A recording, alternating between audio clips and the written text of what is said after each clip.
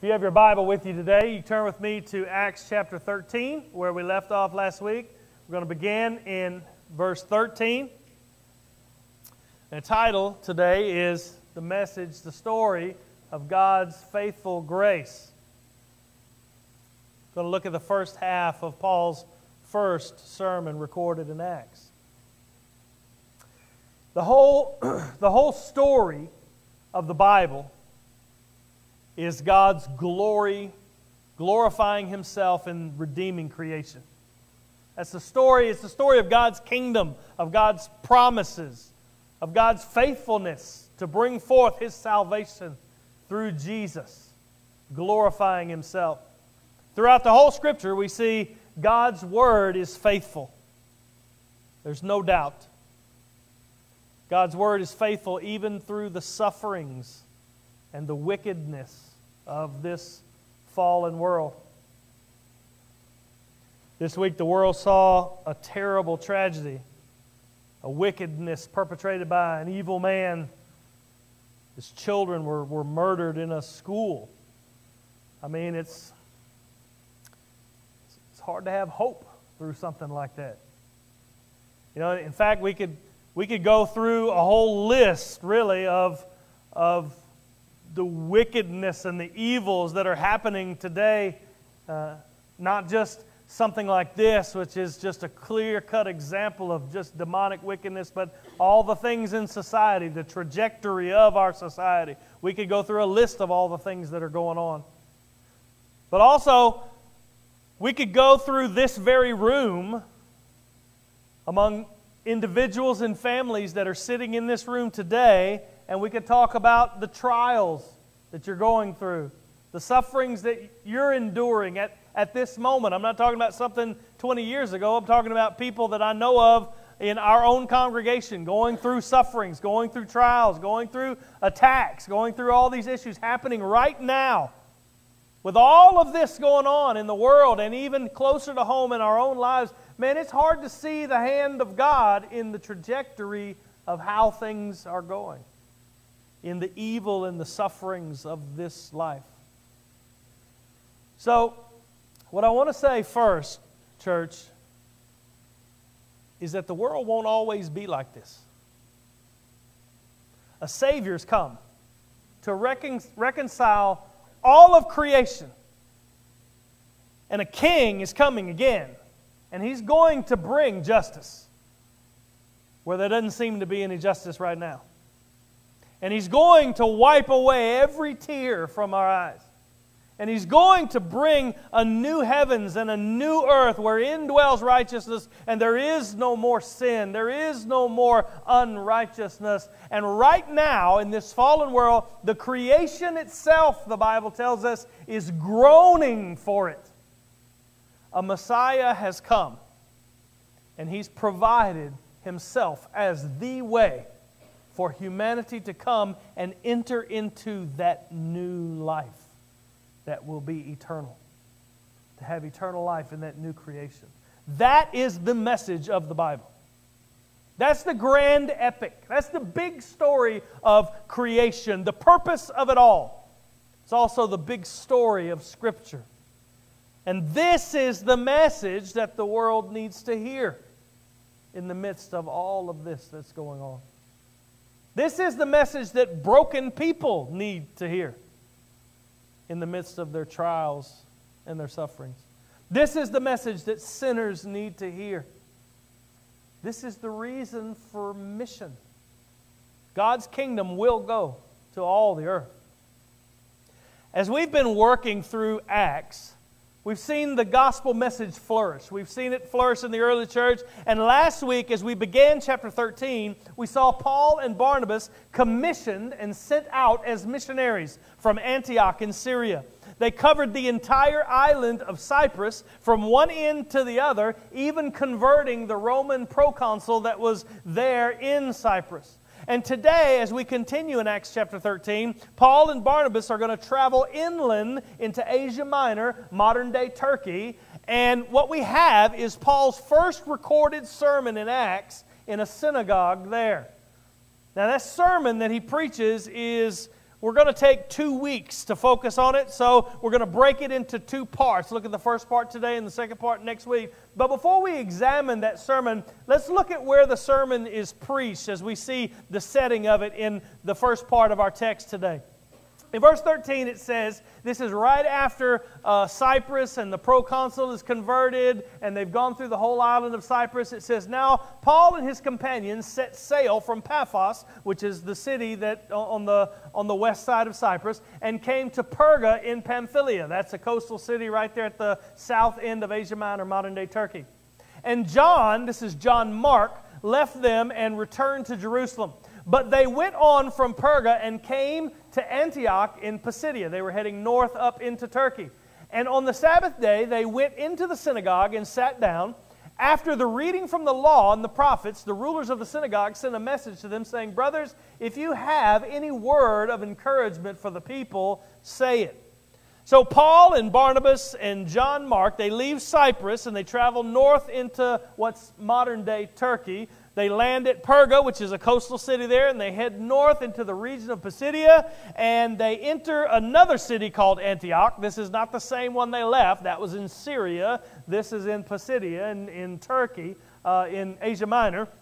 And here, John Mark decides, before they head that way, John Mark decides he's leaving them and going back to Jerusalem. We're not told why he leaves, but this is going to be, uh, it's going to be a source of contention later between Paul and Barnabas. So just log that in your memory, and we'll come back to it when the text does. So they arrive in the city. They follow their mission practice that we saw last week of going to the synagogue first. And as they are there on the Sabbath day, after in the service, after the readings of the law and the prophets, they're invited to speak a word of encouragement. It's not uncommon for a visiting rabbi to be invited to speak. But the sermon they got from Paul is certainly not the one they expected to get.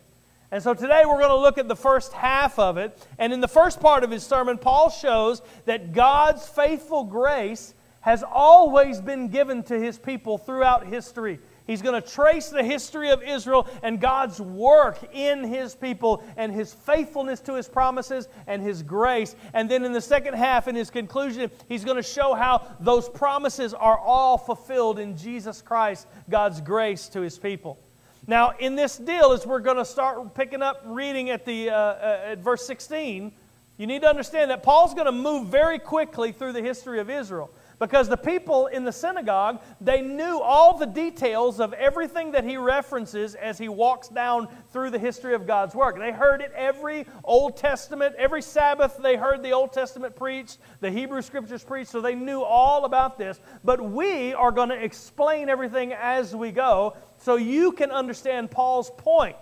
God has been faithful to his word and God has brought fulfillment of His word and His promise in Jesus Christ.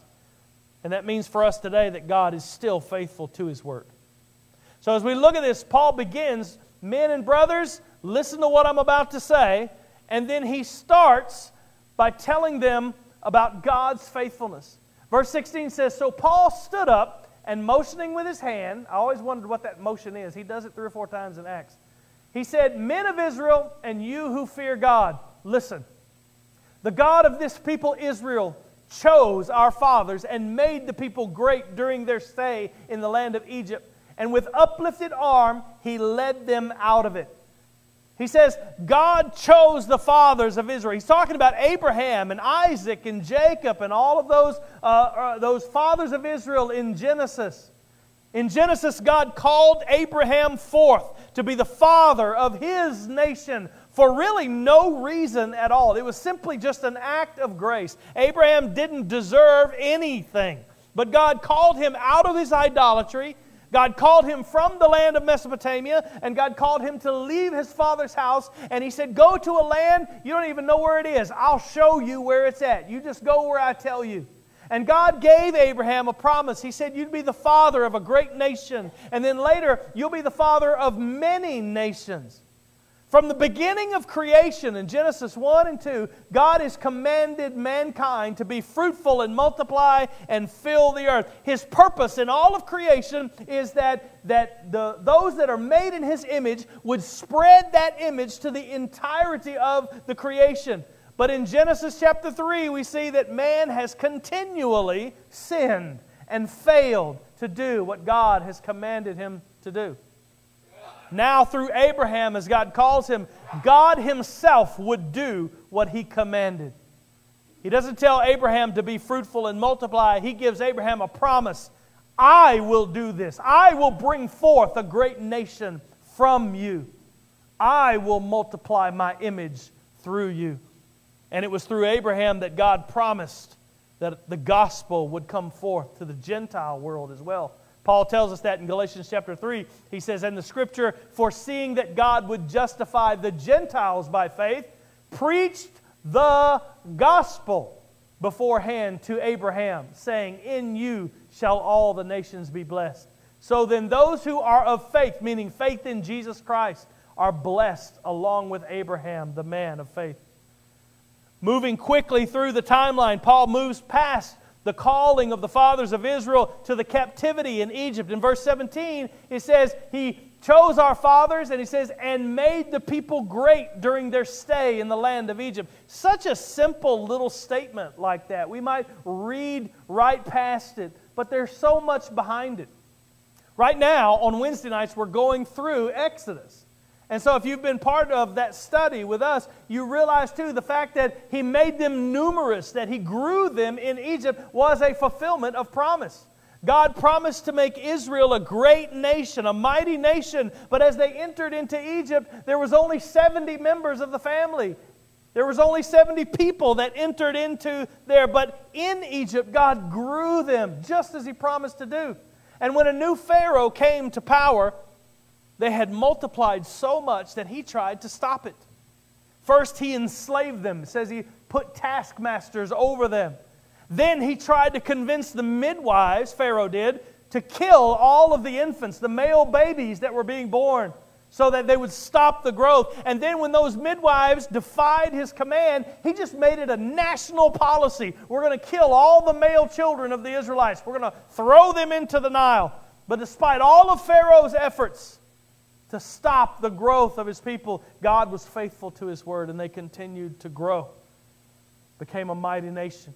And at the end of verse 17, it says, And he made them great during their stay in Egypt, and with an uplifted arm, he led them out of it. God delivered them out of Egypt through Moses and the, the ten plagues and the, the story of Exodus. God brought them deliverance, He brought them salvation. And it wasn't because of their goodness. It wasn't because of their faithfulness. They were anything but faithful. It was because of His grace, because of His promise, because of His word to Abraham. God was faithful to bring deliverance to His people. And then Paul fast forwards again. He said, and about 40 years he put up with them in the wilderness. Boy, a truer statement has never been uttered. Through the wilderness wanderings, the people continually complained, they grumbled, they refused to trust God, even at one point saying, We were better off in Egypt in slavery than we are now.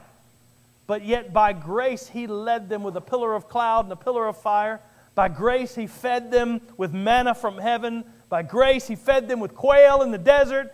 By grace, He gave them water to drink and caused their clothes and their, their shoes not to wear out. He nurtured them in the wilderness because he was faithful to his word, faithful to his promise, even when his people weren't faithful to him. Then Paul moves to Israel under Joshua. It says, verse 19, and after destroying seven nations in the land of Canaan, Paul says in front of this synagogue, he gave them their land as an inheritance. All this took about 450 years. In the book of Joshua, you see God's hand in defeating the nations of the land of Canaan. He gave the people victory after victory after victory, and He gave them the land that He promised to give Abraham and his descendants. Centuries earlier, he promised that he would give Abraham the land as an inheritance. And centuries later, he fulfilled that promise. Despite their failure, despite their faithlessness, despite their sins, there were many times in Joshua as they were taking the land that the people sinned and they had to be disciplined. But God disciplined them and continued to give them victory over the land. God's grace and faithfulness is on full display from Abraham to the promised land. That's what Paul wants these synagogue hearers to see. He is the main character of the story. If you look back through verses 16 through 20, God is the subject. God is doing all the action. God is the hero of the story. And the story doesn't stop there. God is also faithful from Judges to David. Paul continues, and after that, he gave them judges until Samuel the prophet. Here's another statement that's just packed with meaning. Paul's audience in the synagogue, steeped in the Hebrew scriptures, would understand the depths of what happened during the time of the judges. The time of the judges was a time of explicit sin and faithlessness in Israel. The theme of the book of Judges, when you read it, is everybody just does what's right in their own eyes. And if you read through the book of Judges, man, it's horrible. There are some horrible things in that book. But in that book, there's a cycle that repeats over and over again. The people sin, they turn away from their God, they worship idols, and then God turns them over to an oppressor or another nation that conquers them. And then in their suffering, under the oppression of that nation, they cry out to God for salvation, and God raises up a judge, a deliverer to save them. And after they're saved, after they're delivered from their oppression, you know what they do? They go right back into their sin and turn away from God. And that cycle happens over and over and over and over again in the book of Judges. So when Paul says God gave them judges, he's saying God was continually faithful to his people through this time, raising up deliverers for his people over and over and over again, even though God knew that they would be stubborn, rebellious, and faithless once they were delivered. But even in the face of that rebellion, even in the face of that stubbornness, God was faithful to his word. And then all of the people's sinfulness comes to a head under Samuel the prophet when the people ask God for a king. It said in verse 21 Then they asked for a king, and God gave them Saul, the son of Kish, a man of the tribe of Benjamin, for 40 years. Now, God had always purposed to give Israel a king. Moses said so in Deuteronomy 17. But when they asked for a king, it was not because they were seeking God's will. They were doing so because they wanted to be like the other nations. They explicitly say this. And when they came to Samuel and they asked for a king, Samuel hated the idea. And he goes and he prays to the Lord and says, Lord, why are these people like this? Why are they doing this? We can't do this. You are king over us. And when he prays to the Lord in 1 Samuel 1, 1 Samuel 8, chapter 7, chapter 8, verse 7, I'm going to slow down. He prays to the Lord, and the Lord answers Samuel about them wanting a king. And he says this Obey the voice of the people in all that they say to you, meaning ordain for them a king, just like they asked. For they have not rejected you, but they've rejected me from being king over them. This was an act of rebellion. But God gave them the king that they wanted. They wanted Saul. And boy, did that not turn out well for them. King Saul started out okay, but he quickly became wicked and an unjust tyrant. And even though that is exactly what the people asked for, what they wanted. God did not abandon his people in their sin. Paul continues on, he says, And when he had removed him, when God removed Saul, God didn't abandon his people. He removed Saul and he gave them his king. When he had removed Saul, he raised up David to be their king of whom he testified and said, I have found in David the son of Jesse, a man after my heart, who will do all my will. Remember, this is Paul speaking in a synagogue. King David was used to, to bring glory and grace to Israel because he was such a perfect person. No? Yes? No? Stay with me. Not even close. No, no. David's sin is widely known and described in the Scripture. But yet he was a man after God's heart. And he was used to bring glory and grace to Israel despite his sin, despite his failure. God used him mightily and promised that one day God would raise up a son of David. And God would give that son of David the kingdom forever. And he would sit upon David's throne forever. The mention of King David in, in Paul's sermon before the synagogue would have brought all of this to mind. And that's what Paul is counting on. Up to this point, Paul has basically just run through the history of Israel and God's faithfulness to Israel. And the people in the synagogue, they would have been sitting there going, Yeah, that's right. Amen. Yeah, brother. Well, maybe they wouldn't have said that. They probably ain't from the South. But they would have been saying, That's right. Amen. Blessed is David. Blessed is the God of David. They would have been nodding along in agreement. That's right. God has been faithful to his people. These things that Paul was saying were said every Sabbath day as they studied the Hebrew Scriptures. It would have been something they'd heard over and over and over again as Paul's recounting God's work in the history of Israel. And what they expected was the next statement that always comes is, and one day, synagogue, God will bring the Son of David and he will deliver God's people, Israel. He will bring forth his kingdom. But that's not what Paul says. Instead, Paul says, and he's already done it. He says that God's faithful grace is fulfilled in Jesus. Verse 23 Of this man's offspring, of David's offspring, God not will, but has brought to Israel a Savior, Jesus, as he promised. He promised David to bring the Son of David. The promised Savior, the Son of David, is Jesus Christ, and God has fulfilled his promise. That's Paul's message to this synagogue. The kingdom of God has come, and the kingdom of God is coming in its fullness. That would have shocked everybody in the synagogue. What did he just say? So you're saying that the Messiah, the one to whom God promised the kingdoms his kingdom, to sit on the throne of David forever, you're saying that he's already come. The one who's going to sit on David's throne, the one who's going to bring glory and redemption. He's already come. That's exactly what Paul is saying. That's the whole point of the scriptures. It all points to Jesus Christ. The promises of David have been fulfilled. The promises to Abraham have been fulfilled. That's the whole point of that long genealogy at the beginning of the first book of the New Testament. You know, in Matthew, the one you always skip when you're reading it, Matthew 1 1 says, The book of the genealogy of Jesus Christ, the son of David, the son of Abraham. And then it gives the genealogy. This is the one that, that all of the Hebrew scriptures point to. He has come and he has delivered his people. The promises to David have been fulfilled in him. The promises to Abraham have been fulfilled in him. He is the one that we are looking for, Paul would say to the synagogue. And God has done it. And not only has he done it, but he didn't do it in secret. He sent a prophet to prepare his people for the coming of the Messiah.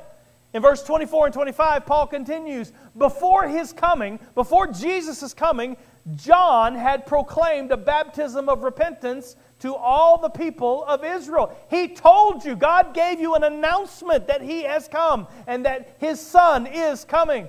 God was faithful to announce his coming. John the Baptist was a prophet in the same vein as Elijah, preparing the way for the Lord. At the beginning of John's ministry, it says in verse 24 that he preached a baptism of repentance. God sent him to prepare the hearts of the people for Jesus. He was preparing them by calling them to see their need, to see their sin, and to repent of that sin. They needed to be confronted with their sin. They needed to understand just being a descendant of Israel was not good enough. Just being part of this lineage is not good enough. Just being religious or a good person is not good enough. That can't make you right with God. They needed to see that a Savior is coming and you need Him. The same is true for people today. Sin is serious to God, and we must see it as so. Regardless of our goodness, of, or our religious works. The law is perfect, and we must keep it perfectly. And this realization that we can't do so is what drives us to a Savior. I cannot do it, therefore, I must have someone do it for me. And Jesus is the only candidate that has stepped forward and said, I will. The beginning of John's ministry, he prepared them by preaching repentance.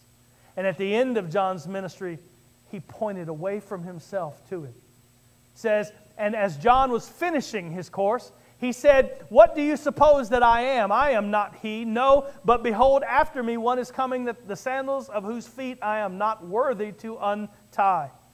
The end of John's ministry, he was saying, I, am done, but I'm not him. He's coming. One greater than me is coming. And He is the answer. He is salvation. He is the deliverer. He is the Messiah. Look to Him to find salvation. Don't look to me, look to Him. That is the message of the first part of Paul's sermon. He basically runs through the history of Israel with a synagogue full of people who would have been in agreement with him, and he tells them, It has been fulfilled. It is finished.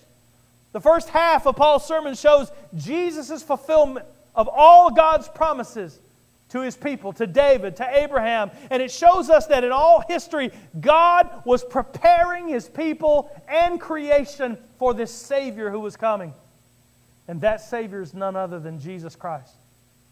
In the second part of his sermon that we'll look at next week, he shows how the death and resurrection of Jesus has fulfilled these promises.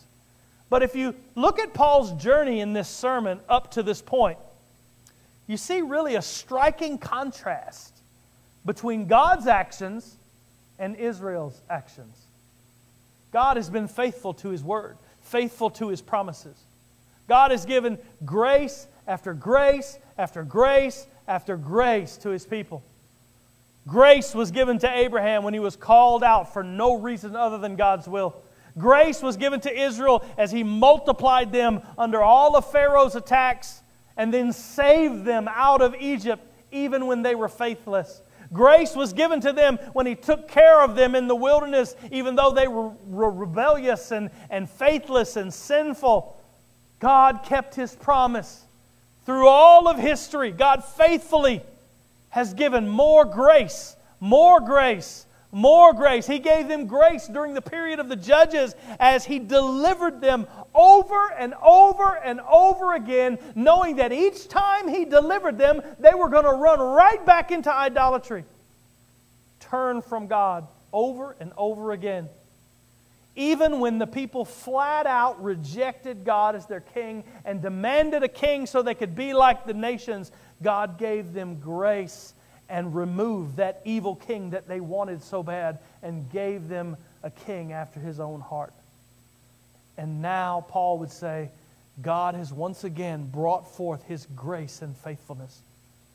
And he's brought forth his grace to an ultimate and final fulfillment in Jesus Christ. The Father has sent God the Son from all eternity, taking upon himself the nature of a man to give himself as a sacrifice for sin so that the sin that so characterizes us and this fallen world can be atoned, can be paid for, so that the sinner can be accepted before holy God. The justice of a holy God can be satisfied once and for all. Paul is announcing to this synagogue that the glorious day of God's perfect salvation has finally come. God has given more grace. Today, church, God has given us grace in the gospel. God has given us His Son so that the chasm separating you from God can be bridged. The last verse we'll read is kind of the midpoint in Paul's sermon. After all of this, explaining Jesus as the fulfillment of God's promise, he says, Brethren, sons of the family of Abraham and those among you who fear God, to us has been sent the message of this salvation. To us, Mulvane, this message has been sent. There's a lot of hurt going on in the world today.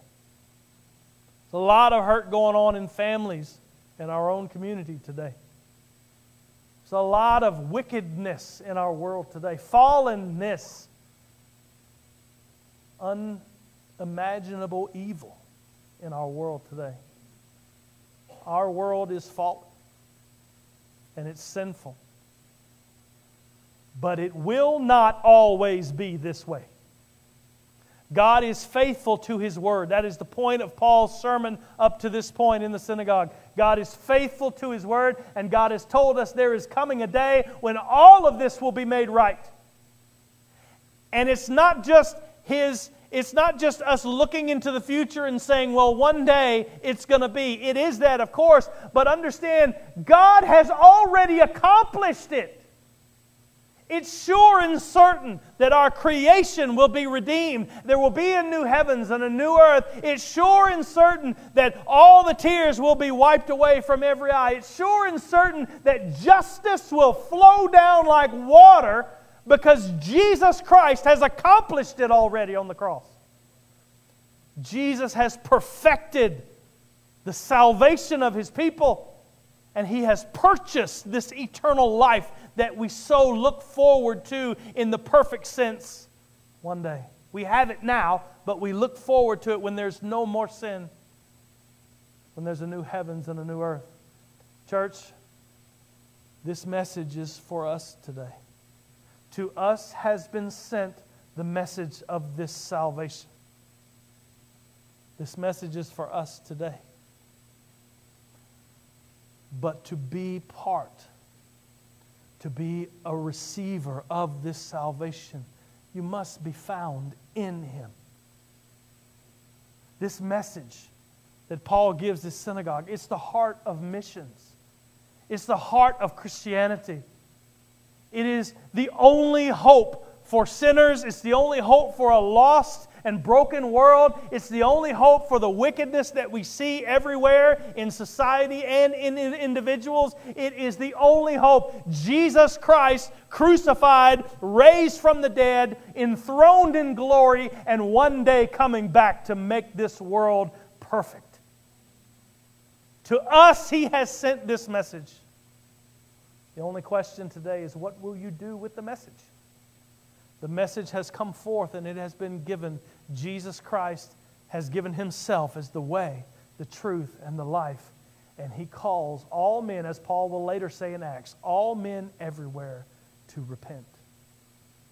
Trust in Jesus today. And eternal life will be yours at this very moment.